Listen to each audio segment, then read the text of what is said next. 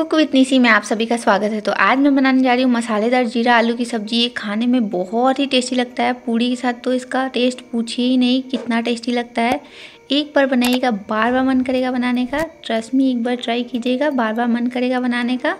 तो चलिए बनाना है स्टार्ट करते हैं। मेरी वीडियो पूरी देखिएगा, तभी आपको समझ में आएगा। आधी देखिएगा तो आप अच्छे से बना नहीं पाओगे। तो चलिए बनाना स्टार्ट करते हैं। तो देखिए, जीरा आलू बनाने के लिए यहाँ पे मैंने लिया है तीन आलू। बॉयल्ड आलू है ये, उबला हुआ आलू है तीन। साइज़ आप देख सकते हो कितना बड़ा मैंने लिया है। तो देखिए अब इसे मैं काट लूँगी यहाँ पे। देखिए, बीच से ऐसे काट लीजिए। और आप जिस साइज़ का आप काटना चाहो, उस साइज़ का आप काट सकते हो। यहाँ पे मैं छोटा छोटा सा काट रही हूँ। छोटा काटने से ये होता है कि मसाले अच्छे से इसके अंदर चला जाता है और बहुत ही टेस्टी लगता है, क्योंकि ये मसालेदार जीरा आलू है। तो छोटा रहेगा तो अच्छे से मसाला जाएगा। तो फिर मैं इसके लिए मैं यहाँ पे एक पैन ले ली हूँ। पैन को अच्छे से गर्म होने दीजिए। फिर मैं इसमें डाल दूँगी तेल। तेल यहाँ पे मैंने एक चम्मच तेल डाला है। देखिए, आप थोड़ा सा ज़्यादा भी डाल सकते हो। अगर आप ज़्यादा बना रहे हो तो उस हिसाब से आप तेल डालिएगा इसके अंदर। देखिए, तेल अच्छे से गर्म हो गया है। तो इसी टाइम मैं यहाँ पे डाल दूँगी सौफ़। थोड़ा सा सौफ़ डालेंगे इसके अंदर। इससे बहुत ही अच्छा टेस्ट आएगा। और यहाँ पे मैं जीरा डालूँगी। यहाँ पे देखिए हाफ़ टेबल स्पून है। इससे बहुत ही अच्छा टेस्ट आएगा। जीरा आलू है तो ऑफकोर्स जीरा ज़्यादा रहेगा इसके अंदर। और फिर यहाँ पे मैं हींग डाल दी हूँ, चुटकी भर हींग। तो देखिए इसे अच्छे से फ्राई होने दीजिए। फ्राई होने के बाद फिर इसके अंदर हम डाल देंगे यहाँ पे आलू। देखिए जीरा अच्छे से फ्राई हो गया है। तो यहाँ पे मैं इसके अंदर पूरा आलू डाल दूँगी। अच्छे से जो मैंने काट के रखा था।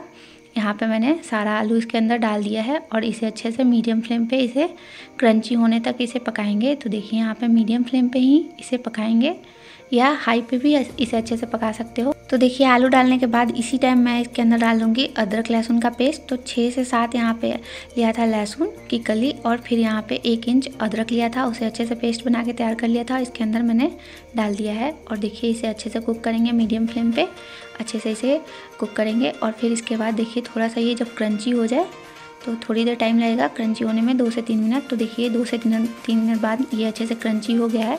तो इसी टाइम हम इसके अंदर डाल देंगे नमक। स्वाद अनुसार फिर यहाँ पे मैं तीखापन के लिए डाल रही हूँ लाल मिर्च पाउडर, आधी छोटी चम्मच। अगर आप बच्चे के लिए बना रहे हो तो आप कम डालिएगा, या आप छोड़ सकते हो, या आप ज़्यादा भी डाल सकते हो, अपने हिसाब से आप कम ज़्यादा कर सकते हो। फिर इसे अच्छे से मिलाएँगे। यहाँ पे गैस फ्लेम में लो कर दूँगी कि मसाले हमारा जले ना।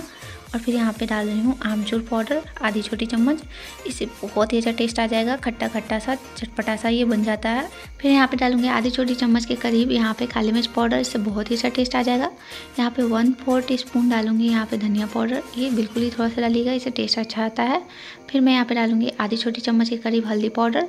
फिर यहाँ पे मैं डालूँगी थोड़ा सा गरम मसाला यहाँ पे देखिए, हाफ़ फोर टीस्पून के करीब यहाँ पे गरम मसाला डालूँगी, इससे बहुत ही अच्छा टेस्ट आ जाएगा।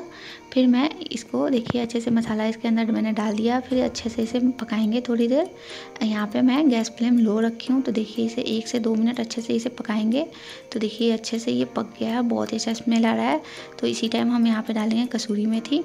ये बिल्कुल ही ऑप्शनल है। अगर आपके पास है तो आप डालिए, नहीं है तो नहीं डालिए। यहाँ पे टेस्ट अच्छा आ जाता है इसे डालने के बाद, इसलिए मैंने इसके अंदर डाला है। यहाँ पे मैं थोड़ा सा धनिया पत्ता डालूँगी, इससे भी बहुत अच्छा टेस्ट आ जाएगा। तो लीजिए, बहुत ही अच्छा टेस्टी सा जीरा आलू बन के तैयार हो गया। अब हम, देखिए बन के तैयार हो गया तो इसी टाइम हम गैस को ऑफ़ कर देंगे। तो लीजिए, जी बन के बहुत ही टेस्टी जीरा आलू बन के तैयार हो गया। ये खाने में बहुत ही टेस्टी लगता है। आप इसे पूरी के साथ खाइए, मज़ा आ जाएगा आपको खा के एक बार बनाइएगा बार बार मन करेगा बनाने का। ट्रस्ट में बहुत ही टेस्टी लगेगा, एक बार ट्राई कीजिए। और मुझे कमेंट में बताइए कैसा लगा था आपको मेरी वीडियो अच्छी लगती है तो प्लीज़ लाइक करें शेयर करें सब्सक्राइब करें। Thank you